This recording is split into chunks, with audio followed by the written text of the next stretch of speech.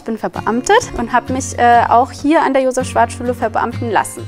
Ich habe diese Sicherheit auf der einen Seite und auf der anderen Seite kommen noch ganz viele andere Sachen on top, die man hier noch zusätzlich hat. Ähm, ich kann mit einem Kollegen im Klassenzimmer arbeiten. Ich brauche mein privates Geld nicht mehr ausgeben für Ausstattung. Ansonsten ist es kein großer Unterschied, außer dass es besser ist.